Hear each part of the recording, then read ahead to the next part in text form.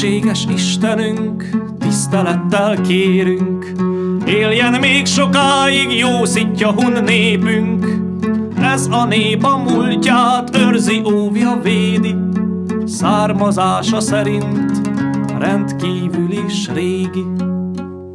Büszke szemmel nézzük Nimrut király fényét, az égen győzi le örök ellenségét, Csoda szarvasunknak követjük futását, Hunort s magyart hívó égi vágtatását. Attila kardjáról csodákat mesélünk, Ha e kart kezünkben senkitől sem félünk, Csabai fiú király, meghajlunk előtted, Fényes csillagösvényt az égre tesződted. Esztergomi falra festett oroszlánok, mint apáink régen törjük szét a láncot, figyeljük a turul madár érkezését, a tudás népének újjászületését. Szeretett hazánkat körbeveszi Kárpát, ide tértek vissza álmos fia Árpád, áhítjuk óvó szent magyar koronánkat, ha ős fényben ragyog, ránk senki sem támad. Örök Magyarország, sosem maradsz árva. Sok szeretettel köszöntöm az Attila Nagykirály Hotel baráti kör tagjait. A mai eladásunkat Friedrich Klárika fogja tartani rovásírásból, és a Roga királynak is ő nagy kutatója, tehát a, gondolom egybefoglalja az egész életútját, és abból lesz, de kimondottan ez Sumirest azért, és Torma Zsófiáról lesz szó, és természetesen megtisztelt a férje, Szakács Gábor is minket, úgyhogy köszöntsük Gábort is, és nagyon illusztros vendégeink vannak, Szőke István Attila, Pomázról, aki szülőfalunkból, nem szereti, de a nemzet költőjének tartom, ő lesz a új Petőfi Sándor. És nagyon nagy tisztelettel köszöntöm dr. Záhori, Záhonyi András urat, aki nagy tisztelője ennek a Sumúj Kurtanak és Klárikának Gábornak, és azért megtisztelte az előadást. Nagy szeretettel köszöntöm a megjelenteket, régi barátokat is, nagyon örülök és köszönöm, hogy eljöttek régi barátok, utitársak, székelyföldi utitársak, és nagyon szépen köszönöm Ferinek azt a gyönyörű meghívót, amelyet készített, és amelyben egy varázslatos előadást ígért.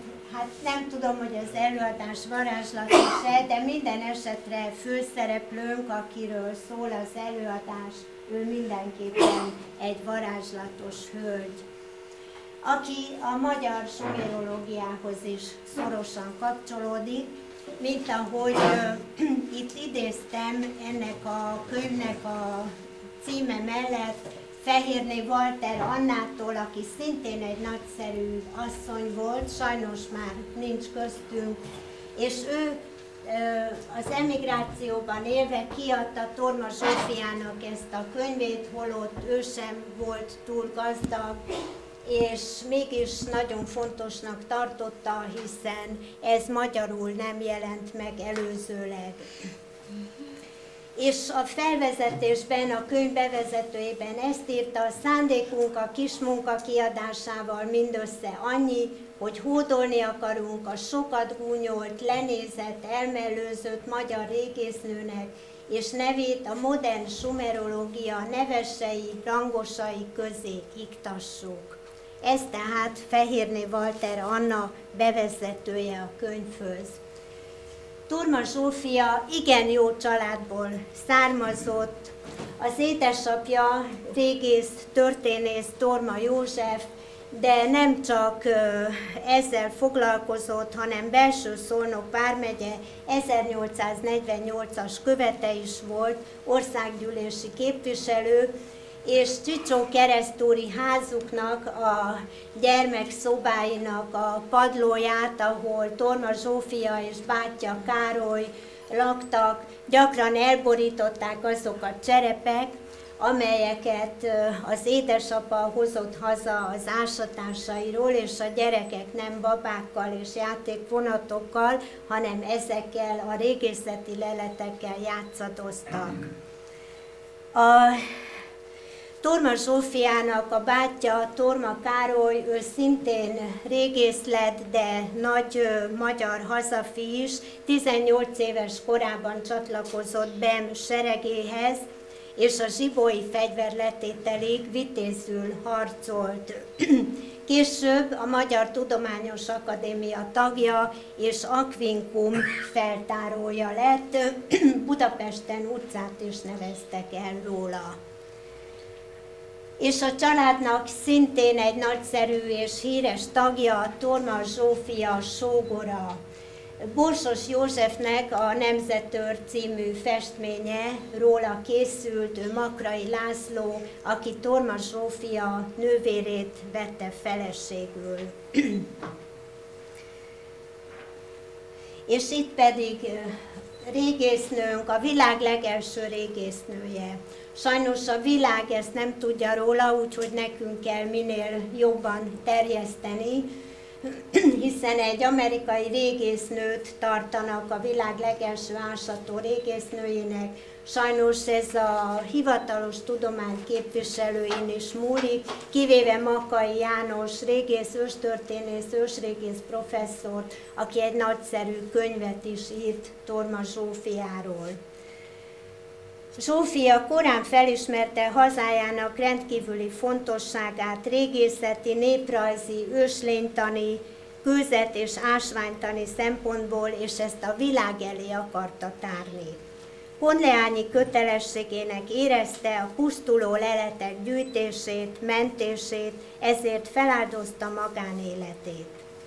Későbbi összehasonlításaiban is hangsúlyozza a magyar jellegzetességeket, többek között a tulipánt, a székelykaput, Attila Turul karújmadarát, a százvárosi asszonyok által az ágyneműre hímzett életfát. Külföldi előadásainak költségeit maga állja, és célja a hazai tudomány öregbítése, jó hírnevének öregbítése. A nagy Magyarország térképén, itt a délkeleti részen látható Szászváros, ahol ő később élt, és ezen a területen található Tordos, Nándorvája, Algyógy, ahol ő a feltárásait végezte. Ha azt halljuk, hogy a világ legelső nőrégésznője, kíváncsiak vagyunk a tudós iránti tiszteleten túl, hogy milyen volt ő. Torma Zsófia okos, szép, nemesi származású, gazdag hölgy volt, bárónő volt, és 25 férfi kérte meg a kezét, ő azonban a tudománynak adta, tehát nem ment soha férjhez. Nem mintha magát embertársai fölé emelte volna, hiszen végtelenül szerény volt, és a munkásságának csupán annyi jelentőséget tulajdonított, hogy leleteit a maros hullámai elől biztonságba helyezte, miután más megfelelő gyűjtőre nem akadtak. Sajnos elég sokan bírálták, bántották életében, és ezt írja, hogy tette ezt a gyűjtést annak ellenére is, hogy az elfogultság és a sokoldalú kellemetlenség sokak részéről ellene megnyilvánult. A 9. Nemzetközi Ősrégészeti Tanácskozáson 1876-ban az egyetlen nő volt az előadók között. A vicclapok kezdetben gúnyolták és bogarászó kisasszonynak nevezték. Híres volt jótékonyságáról is, tanítványa Téglás Gábor írja róla. Az árvák, az üldözöttek, a segére szorultak készséges pártfogójaként mindenkinek szolgálatára állott százvároson, ahol annyi család álthatja ritka szívjóságát. Szolnok Doboka vármegye monográfiájában Kudu településről ezt olvashatjuk. Turma Károly 1875-ben állami iskola létesítését támogatja. Zsófia pedig az iskola céljaira két hold földet adományozott. Tordoson, Nándorváján, Algyógyon, újkőkori telepeken végzett gyűjtésének, ásatásainak, szorgalmának eredménye közel 25 ezer darab tárgy. Ebből 10.387-et Kolozsváron az Erdélyi Nemzeti Múzeum érem és régiség tára vásárolta meg, ezek pedig már az írásos cserepei, ezekből több ezret gyűjtött, sajnos mi csak pár százat láthatunk belőle, egy amerikai szerzőnek, Win nevű amerikai szerző gyűjtötte össze a tordosi cserepeknek a jeleit, ő adta ki könyvben. A Kolozsvári Múzeum egyik munkatársa is lerajzolta, rendszerezte, de sajnos Magyarországon kiadásra ez nem került. Torma Zsófia nagy vagyonát kutatásaira és jótékonyságra áldozta, így idősebb korában gyűjteményének már nem tudott új helyet biztosítani, ezért 1891-ben 5000 forintért és 800 forint életjáradékért megvárt tőle.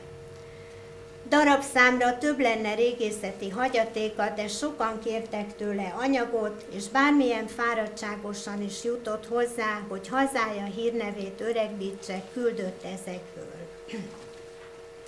Igen jelentős volt a szakirodalmi tájékozottsága abban az időszakban, amikor nem voltak még számítógépek, és mindent a posta, lassú posta és a hosszadalmas levelezgetés útján tudott csak beszerezni. Ezzel kapcsolatot teremtett az egyes szakterületek között, lehetőség nyílt a műveltségek eredetének tisztázására. Tehát saját maga, hogy a hivatalos történészek, régészek és a hivatalosságok által használt szót használjam, dilettánsként alkotta meg a rendkívül korszerű, komplex régészetnek az alapjait. Az etnográfise analógie néprajzi hasonlatosságok című művében vallási, csillagászati, embertani, írásbeli, nyelvészeti, díszítőművészeti, sőt még táncművészeti összehasonlításokat is találunk. A sokoldalú összehasonlító módszer mellett a szaktársakkal való levelezést és kutatói tudományos szintre emelte. Ehhez legalább három nyelv ismerete és a régészet tudományához kapcsolódó nemzetközi szakszókincs ismeretére volt szükség. Tehát magyarul, németül anyanyelvi szinten beszélt, és azon kívül angolul, és még hát a szükséges latin, görög nyelveket is olvasási szinten, tehát könyvolvasási szinten ismerte. Levelező társa volt John Lambok angol tudós, Archibald Size angol nyelvész sumerológus, François Lenormand francia régész és sumerológus, Heinrich Schliemann Trója és Mükéné feltárója, és az, akinek levelei minden mellőzésért kárpótolták, a már 82 éves Kossuth Lajos, aki az ősrégészet iránt is érdeklődött. Torma Zsófia legelőször ott került ellentétben a hivatalosságokkal, és már saját családjával is, saját bátyjával is, hogy ezeket a jeleket írásjegyeknek nevezte, tehát azt állította, hogy ezek nem csak mesterjegyek, nem csak díszítések, hanem közlésre alkalmas írásjegyek, amelyeket a korongokon és az edények alján talált. Itt látjuk a Kolozsvári Történeti Múzeumnak a tárgyai közül nagyon szép rovás H betű, B vagy tízes, D betű is látható. Nagyon sokat össze lehet gyűjteni ezekről a tárgyakról, és az említett amerikai kutatónak a könyvéből az E és a T kivételével az összes rovásjelet rovásírásunk összes betűjét össze tudtam gyűjteni, jobboldali középső edénynek az alján. Rovás K betűk,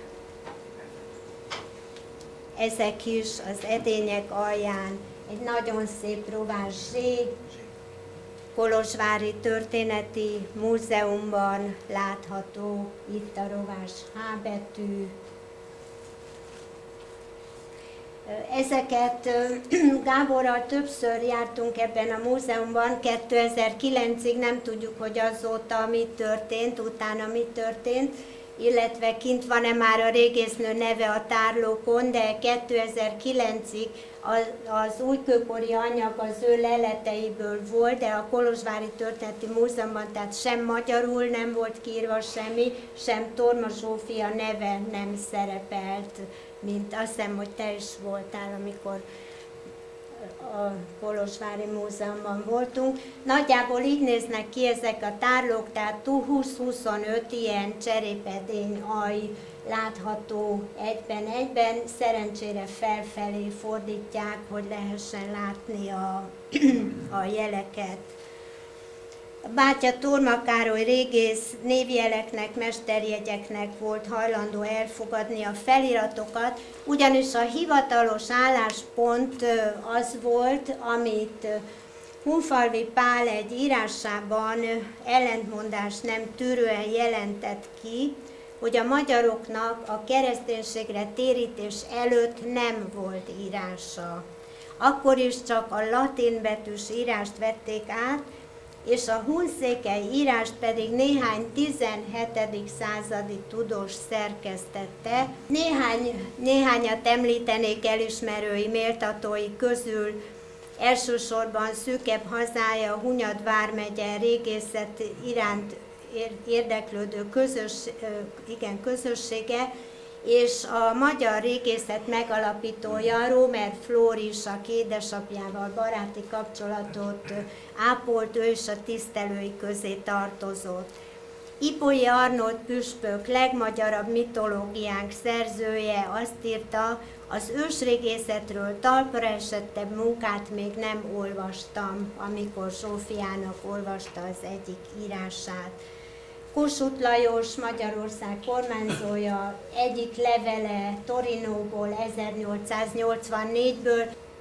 Makai János régész professzort már említettem, nagyszerű a Holt Lóra Patkó, ez a címe a könyvének, nagyon nehezen hozzáférhető antikváriumban vagy hosszas előjegyzés után lehet csak hozzájutni.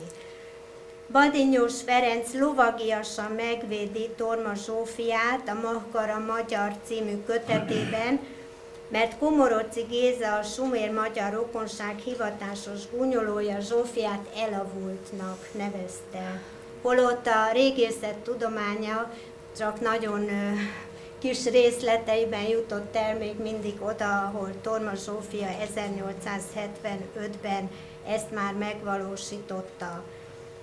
Beszélnünk kell egy hölgyről, egy százvárosi hölgyről, Fülöp Júlia gyógyszerészről, aki a százvárosi Erdélyi Magyar Közművelődési Egyesület, röviden az MKE tagja, és ő baloldalon látható, élet, nagy életben tartója volt, amíg ért, sajnos 2014-ben elhunyt Torma Zsófia emlékezetének százvároson. Nem volt könnyű ez a dolog, ugyanis a 19 ezres városból csupán 500 magyar van már, találkoztunk is Júliával, helytörténész, eredeti foglalkozása gyógyszerész, és Zsófia ismeretének, emlékének nagy fenntartója és terjesztője volt. Rendkívül sokat harcolt azért, hogy Torma Zsófia százvárosi házára visszakerüljön a tábla, hogy ott élt Torma Zsófia. A a felújítás során, amikor felújították ezt a házat, akkor egy román orvosnő vásárolta meg, és a felújítás során levették ezt a táblát, és sajnos nem tette vissza még mindig, majd később ezt erről is egy kicsit részletesen fogok beszélni. és egy külföldi elismerőjét is említenék itt, majd később egy érdekesség folyamán ismét említem az ő nevét, Marco Merlini, a Milánói Egyetem tanára írja, a középső és alsó Duna medencében kialakult újkőkori írás kutatásának úttörője Torma Zsófia bárónő volt, tehát ez nagyon jó, hogy ezt egy Milánói Egyetemi tanár is elismeri, mi csinálunk egy díjat, a Forrás Sándor rovásíró kör, és megalkottuk az úgynevezett Skita Hun Pártus Avar Magyar díjat. És ezt először Forrás Sándornak adtuk, és másodszor pedig Torma Zsófia régésznő vette át, majd később a, bocsánat, Torma Zsófia régésznő leszármazottja, Torma Katalin, aki Torma Károlynak a családjából, tehát Torma Zsófia bátyának a családjából származik. Nagyon érdekes ez a honlap, hát itt sajnos nem látszik, nem lehet kinagyítani, de majd számítógépen, akit érdekel, de valószínű, hogy sokan ismerik ezt a honlapot.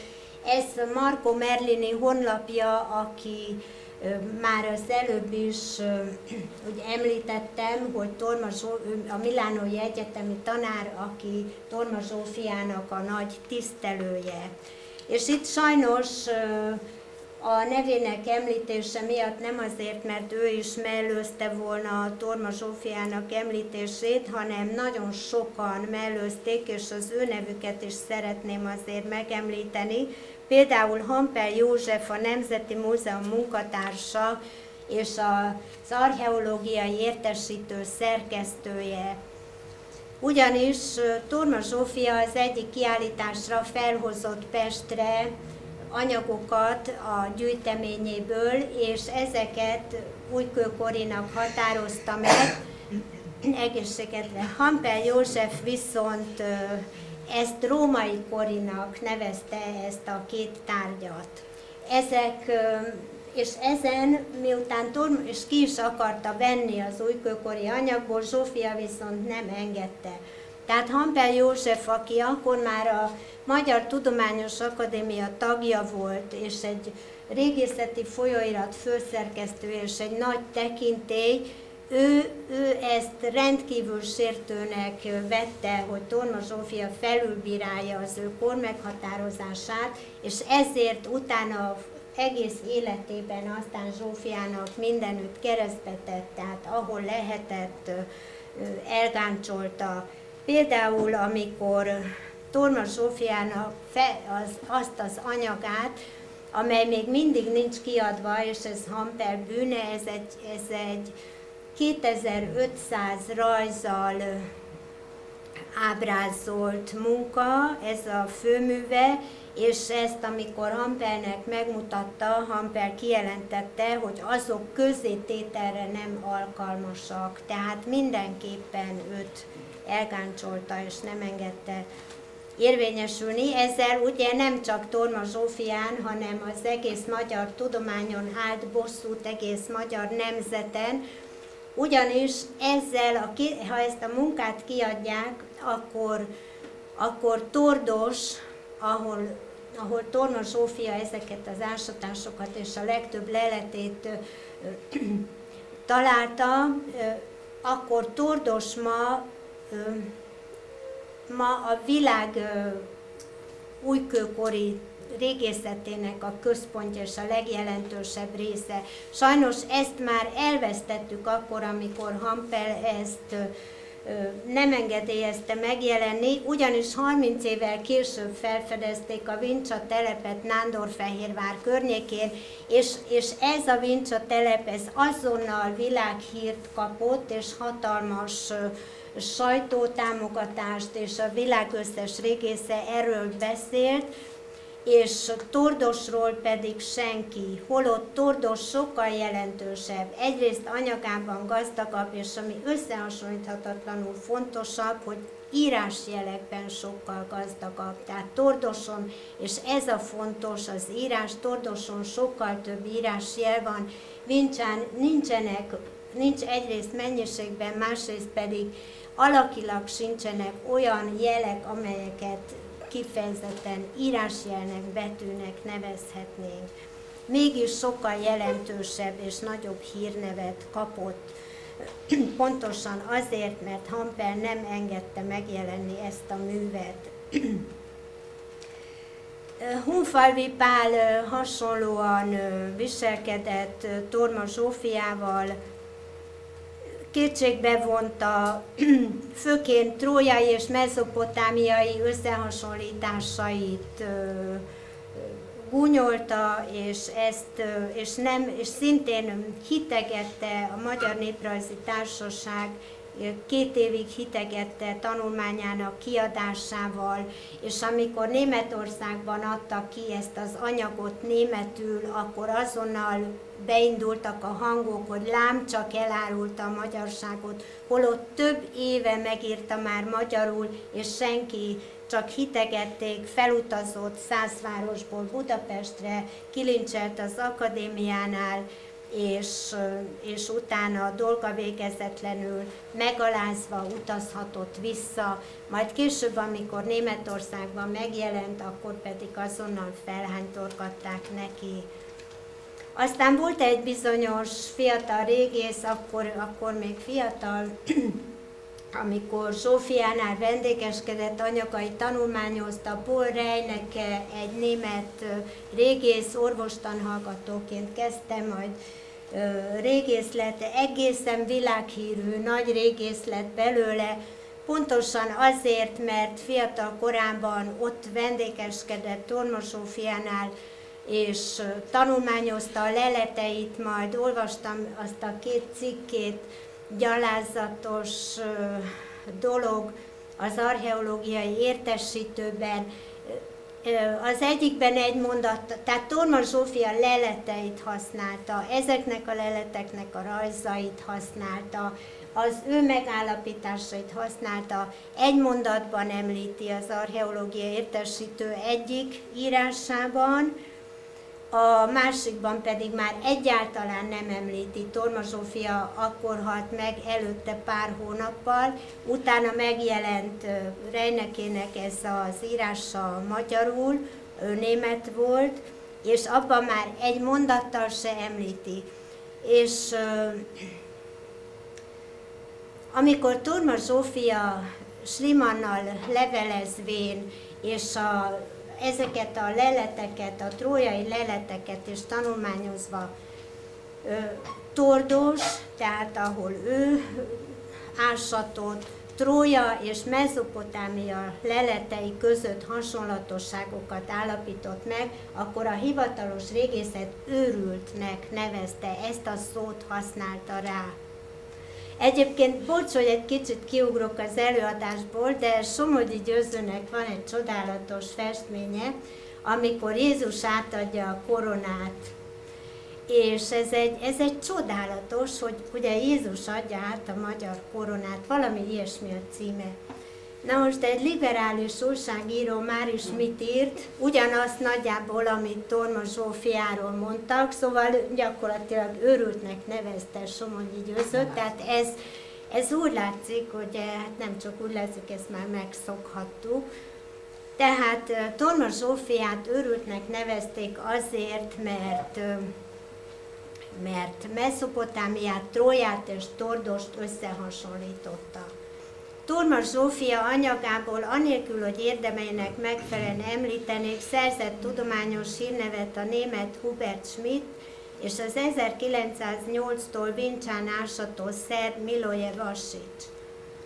Sir Colin Renfro, Cambridge professzor, a Tordos Vincsa műveltség részletes tár- tárgyalásánál Vasicsra hivatkozik, a szerbre, tehát nem Torma Zsófiára. Uh, igen, és most uh, majd amiért ezt is, ezt a képet is tettem, Nikolaj Vlasza, a Kolozsvári Történelmi Múzeum régésze, ő a tatárlakai hamvasztásos sír feltárásával szerzett magának hírnevet. Ő, ő, a, ő ott volt régész a Kolozsvári Történeti Múzeumban, ahol Torma Zsófiának ez az anyaga, ez a 2500 rajzos anyaga, ez a főműve is állítólag még van.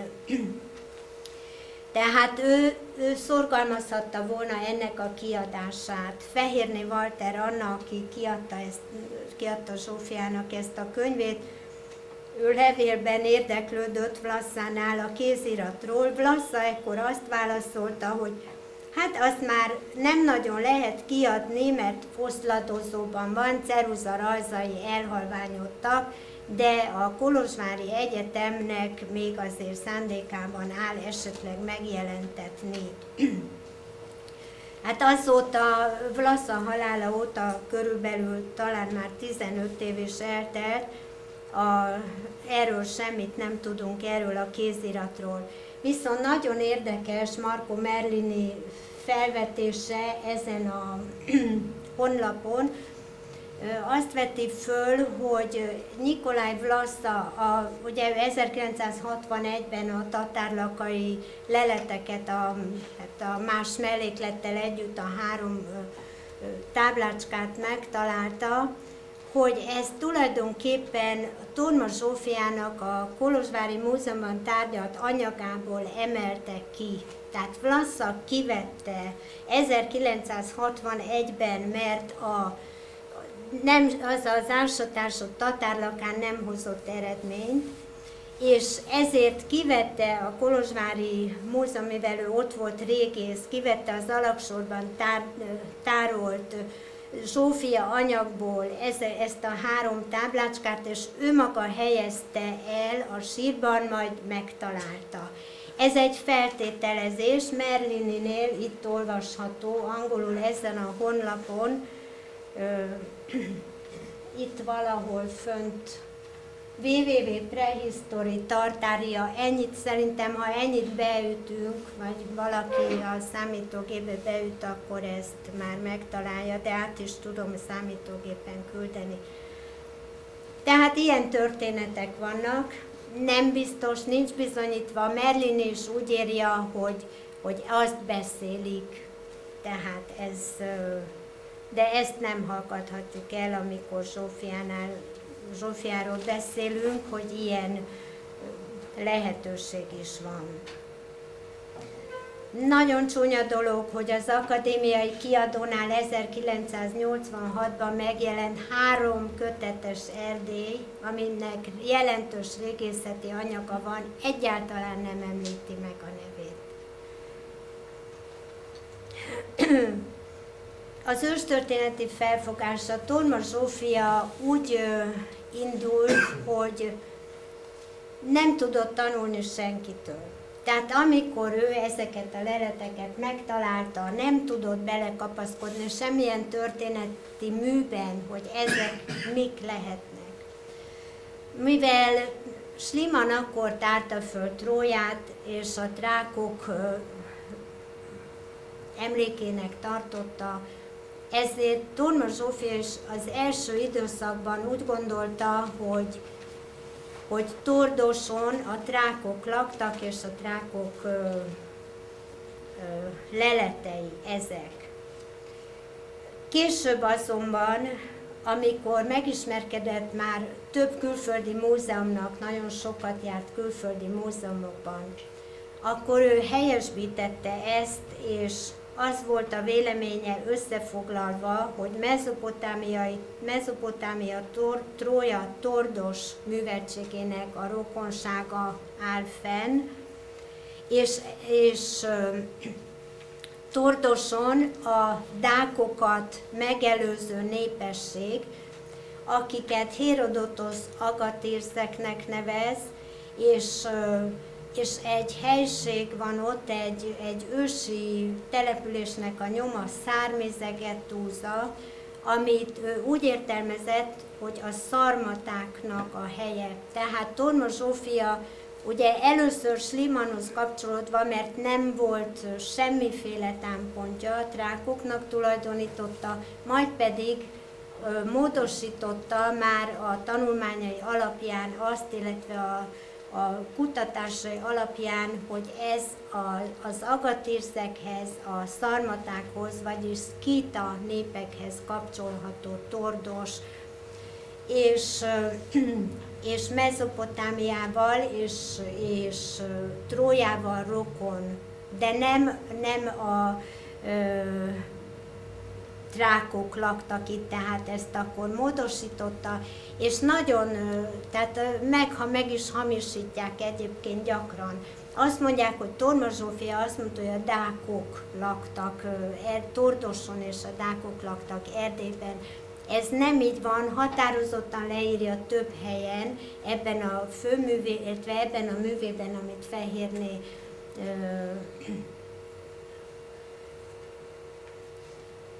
fehérné tovább teszem, hát ha akkor... Ja igen, nagyon jó, tovább tettem. Ez az a bizonyos Szármizege Túlza nevű hely, ami a szarmatáknak és az agatérzeknek tulajdonítható.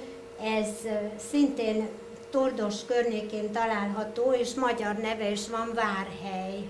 Tehát ez a hivatalos magyar neve. Úgyhogy ez, ez tehát ő határ, igen, itt például idézek egyet. Tordos kultúrétegében a dákok erősített lakásának nyomai még elő nem fordultak. A dákokat sem tekinthetjük ez okáért hazánk legrégibb teleplakóinak. Mint hazánk legrégibb népéről, az agatírzekről emlékezik meg Hérodotosz. Tehát ugye az, az kiták, hiszen a, a három testvér, ugye Agatürzosz, Gelonosz, Kütész, tehát szintén a szkíta népekhez tartoztak az agatérzek és a szarmaták. Tehát végül is ide eljutott, és ezt sem fogadták el tőle, hát ugye a Mezopotámiáról nem is beszélve. Életrajzi adata is bizonytalanok.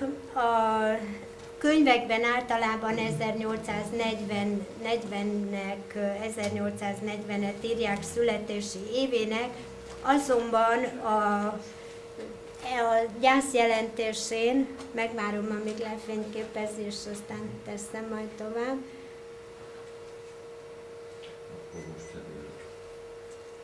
igen, Ja, bocsánat, itt még egy tatárlakáról, a tatárlakai emlékműről, amelyet a románok gyorsan állítottak tatárlakán egy emlékművet. Gábor is írt erről, hogy román írás emléke a tatárlakai korong. Tehát csak azért mutatom ezt be, hogy a ugye felmerült az, hogy Torma Zsófia, aztán, és mindenhova szoktuk vinni Torma Zsófia képét, és így leszoktuk rakni, hogy jöjjön velünk ő is, és, és lássa ezeket a helyeket. Hát sajnos a gyászjelentésből nem látni semmit, a, tehát a hivatalos a könyvekben, lexikonokban és itt nagyon kevés, tehát szinte többes számban nem is lehet lexikonokról beszélni, amiben szerepel. 1840 van, viszont feltűnt nekem, hogy a gyászjelentésén 68. évében és 1800 1899 szerepel, és 68. évében, ezt, hogyha kiszámoljuk, akkor 1831 jön ki, ugye András? Akkor jó. És akkor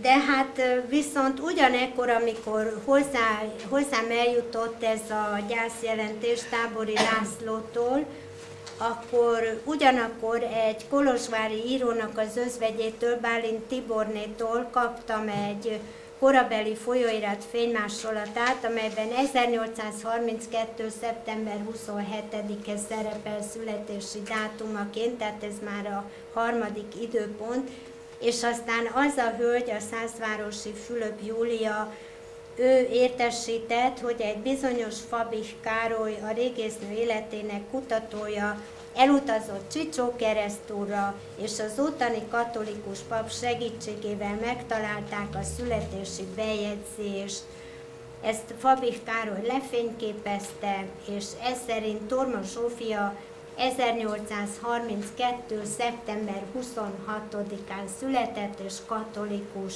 vallású volt. És ugyancsak Fabik Károlytól tudjuk, hogy a Csicsó keresztúri tormakriptát feldulták, így bármilyen azonosításra alkalmatlanok a maradványok.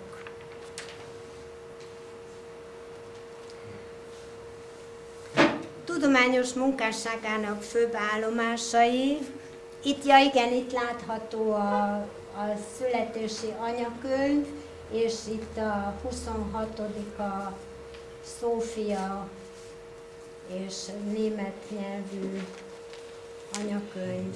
1875-ben kezd ásatni Tordos őstelepén, 76-ban részt vesz a 9. Nemzetközi Ősrégészeti Kongresszuson, 80-ban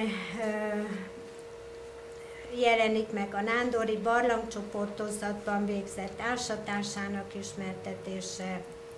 1880-ban már Berlinbe hívják, ugyanakkor, amikor Magyarországon még csak nevetgélnek rajta, újságíróknak kitéve.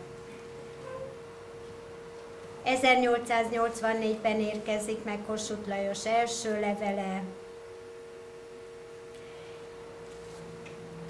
1894-ben Magyarország érdeklődés hiányában Jénában németül jelenik meg a Néprajzi Összehasonlítások című munkája, amelyről elismerő nyilatkozatok látnak napvilágot, sajnos szintén csak külföldön.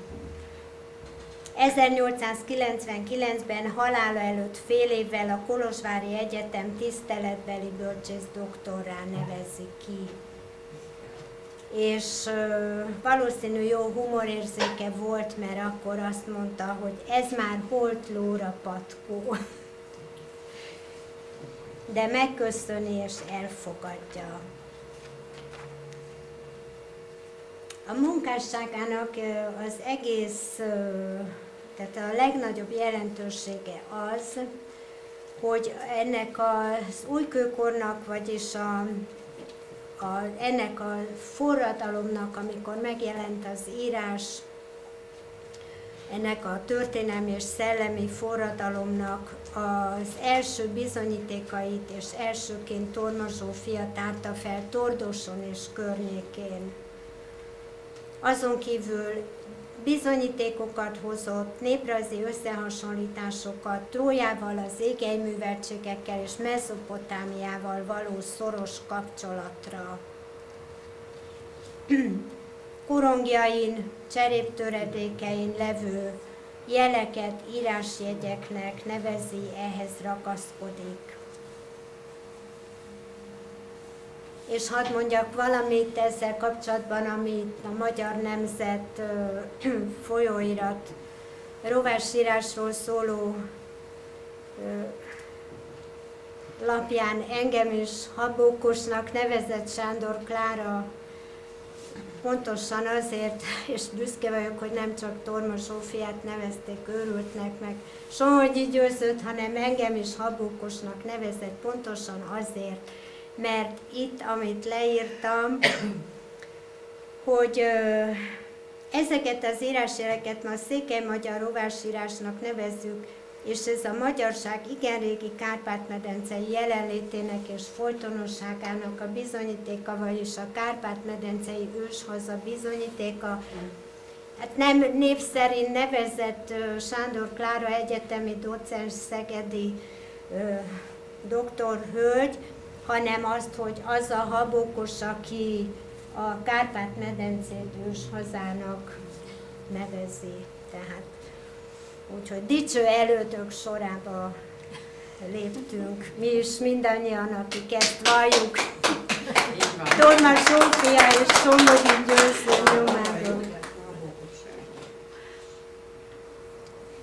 2007-ben Gáborral feladatokat tűztünk magunk elé Torma Sófiával kapcsolatban, minél szélesebb, és ez tíz éve történt, csak azért említem itt, megismertetése, és azóta egy Madaras Jenikő nevű erdélyi születésű Svédországban élő matematikus és tanulmányt készített. Terveztük azt is, hogy ezt a 2500 rajzal díszített főművét valahogy igyekszünk hát előmozdítani a megjelenését, sajnos ezzel nem jutottunk előrébb, tehát a Kolozsvári Történeti Múzeumban ezzel nem, nem lehet tovább lépni, legalábbis nekünk, mint dilettánsoknak, amatőröknek és habókosoknak nem sikerült. Terveztük azt is, hogy a szoborállítását szorgalmazzuk, és azóta, ja igen, bocsánat, ez egy nagyon jelentős térkép, ez ez a bizonyos Tordos Vincsa műveltségnek a térképe, tehát ott látjuk Tatárlaka, Tordos, és lent pedig Nándorfehérvár mellett Vincsát, tehát ez, a, ez az a műveltség, az a, az újkőkori műveltségnek a telepei, a helyszíne. Ez, amit hát itt szoktuk mindig bemutatni előadásainkon egymás mellett Forrai Sándort és Zsófiát. Most a szobort, a szobor az mindjárt következik, de most néhány művet szeretnék róla bemutatni. Szabó Klára, festő, művész képe Torma Zsófiáról, fénykép alapján. Őt mindenki ismeri, Józsa Judit elkészítette a szobrot, nagyon szép magyar nagyasszonyok sorozatba került be.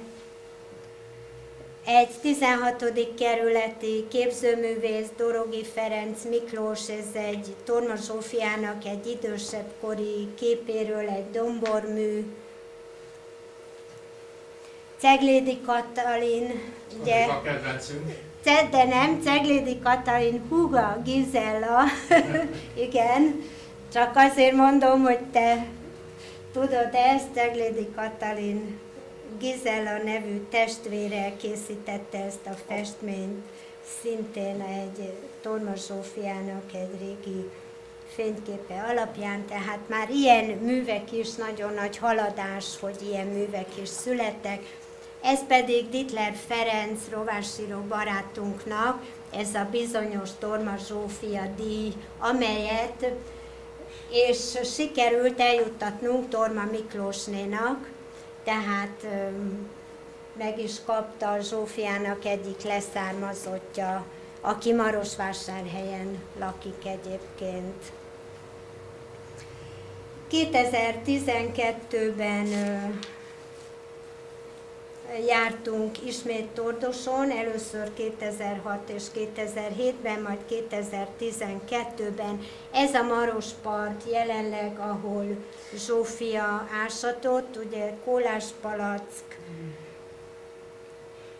Itt látható Fülöp Júlia, Szászvároson, a Szászvárosi Múzeum környékén csodálatos, nagyszerű asszony volt tényleg ő is szobrot érdemelne. Torma Zsófia Szászvárosi háza, itt lakik ez az orvosnő, aki nem hajlandó visszatenni a táblát. A, egy román orvosnő, aki nem teszi vissza a táblát a házra. Ez már volt ez a tábla a régi épületen, és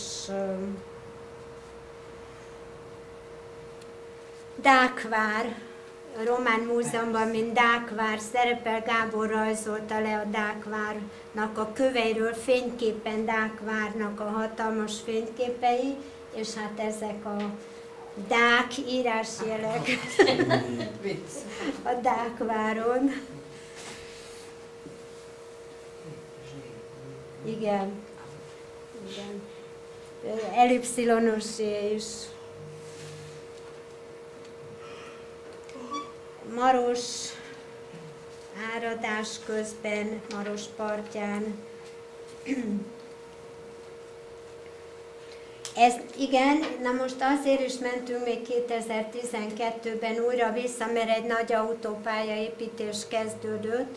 Szerencsére leletmentés is folyt, tehát a Maros mellett az autópálya építésén, építése előtt végeztek régészeti feltárást, nagyon sok anyagot találtak, ez Tordoson van. Tehát ugyanott, ahol ezeken a helyeken, ezek Torma Zsófia lábnyomát is őrzik, ugyan itt ezeken a helyeken ásatott és ásott ő is. Itt ismét ugye mindenütt az a kezemben Zsófiának a fényképe, akinek megmutattuk, hogy milyen a jelenlegi állapot Tordoson. Ez a Tévai Múzeum, látjuk egy román múzeumban milyen szép rend van. Itt képkeretektől kezdve ezek is dák emlékek idézőjelben, de jól össze-vissza vannak dobálva, egymásra vannak hajgálva, az ott egy keret, ez Szóval mindenféle a rómaitól kezdve a kőkorig minden itt egymásra volt dobálva. Voltunk, a, tehát ebben a múzeumban is érdeklődtünk, mert állítólag itt Torma Zsófia anyagok is vannak, senki nem tudott semmit, volt velünk egy románul beszélő ismerős is, senki nem tudott erről semmit, és egy ilyen, a múzeumban akkor kizárólag egy ilyen kitömött madár kiállítást lehetett látni, ezek pedig itt szépen szanaszét a, az udvaron, a múzeumnak az udvarán.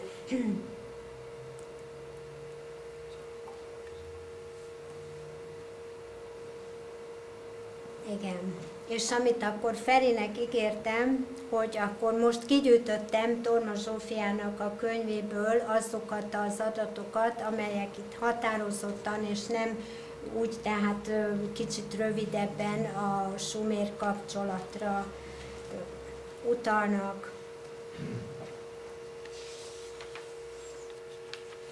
Ezt írja Zsófia. A birtokomban lévő szertartási tárgyak jelentik gyűjteményem különleges értékét. A vallási fogalmakat kifejező képekkel ábrázoló tárgyak, amelyek teljesen egyeznek a sumér, akkád és trójai papok nyelvét jelentő ideogrammokkal. Na most itt az Akkád szóval kapcsolatban, és majd a Babilon szó is fel fog merülni, Torma Zsófia időszakában, tehát a 19. századnak ebben az időszakában Mezopotámiát és Sumért Babilonnak vagy Káldeának, tehát ezeket Akkád, tehát nem volt még meg ez a szétválasztás úgyhogy Babilonnak nevezi gyakran Zsófia is, de itt Mezopotámiát kell érteni. Az ékírás ősformáit azonban Erdély földjén Tordoson találtam meg, írja Zsófia szintén. Ja igen, bocsánat, itt még egy dévai előadás, és Fülöp Júlia, akiről csak a leg, nagyobb elismerés szavaival lehet szólni. Ő is itt a Téglás Gábor iskolában, Fülöp Júlia tart éppen előadást Torma Zsófiáról. Zsófiának a rajzai közül, ugye ő ismét használja az akkád szót, egy fogalomjel Anu istenségnek a jelzésére, és összehasonlítja egy trójai agyaggyöngyel és egy tordosi edény aljával. Ez Zsófiának a rajza. Aztán a tulipánnal kapcsolatban bal oldalon tulipános székelykapu, jobb oldalon pedig azt írja, hogy a babiloni papok áldozati jelenete, ezt írja pontosan, a tulipán az ős magyar díszítőművészet fő motivuma, a szertartást végző babiloni papok áldozati szimbólumként használták. A székely kapukon, kapufákon szereplő virágdíszek újabb és meggyőző bizonyítékai a mi Erdélyünk és Babilónia és Mezopotámia között ismert között, mert megtaláltam az életfa utánzatokat az egyik pecséthengeren. A százvárosi asszonyok még ma is ráhímzik a pecséthengereken látható életfa utánzatokat ágyneműikre. Ezt akkor nem szkenneltem be. És akkor erről a képről az erdélyi hegyvidék asszonyainak gyapjú szövedékeiben ugyancsak előfordulnak a hengerpecsétek, szimbolikus értelmű suméro akkád írásjelei is, amelyek mindegyiket teljes vallási fogalmat képvisel. És hogyha ezt a, itt ezt a bal oldalon középen ezt a bányászjelszerű írásjelet megnézzük, ez, ez már egymaga is egy nagy bizonyíték a kőkortól mostanáig terjedő folytonosságra, írásunk folytonosságára, hiszen ugyanez a jel, ez szerepel nagyon sok helyen ebben a, a Tordos Vincsa műveltség területén. Szerepel az ozorai leleten, az ozorai korsó, lelet, rovás jelei között szerepel, Kunágotán szerepel, Benepusztán, a, a szarvasi tűtartón is szerepel. Tehát ez a jel egy, egy hatalmas folytonosság és egy hatalmas uh, bizonyíték erre a kapcsolatra. Csak egy ajánlat jelenleg a Skitia könyvesboltban, bár én ugyan már három hete vettük meg Gáborral, de a Skitia könyvesboltban Torma Zsófiának ez a könyve állítólag, tehát akkor még volt belőle, 2800 helyett most 560 forintért kapható, tehát akinek van kedve elmenni Ménesi út 1-be, akkor ott esetleg még kap ebből a könyvből. Torma Zsófiának egy idősebb kori képe. Ez egy idősebb kori már. Igen, az a másik volt az elején. Ezt pedig hát én alkottam tiszteletből egy képkeret segítségével. Sajnos itt nem lett jól látni, de egyébként nagyon-nagyon mutatós ez az alkotásom. És hát az utolsó gondolat, hogy Turma Zsófia megkövetése munkásságának igazságos értékelése és elismerése a hivatalos tudomány képviselők részéről még várat magára. Köszönöm szépen a figyelmet, és hát ha idő van, akkor lehet beszélgetni, lehet kérdezni. Köszönöm Felinek lehetőséget.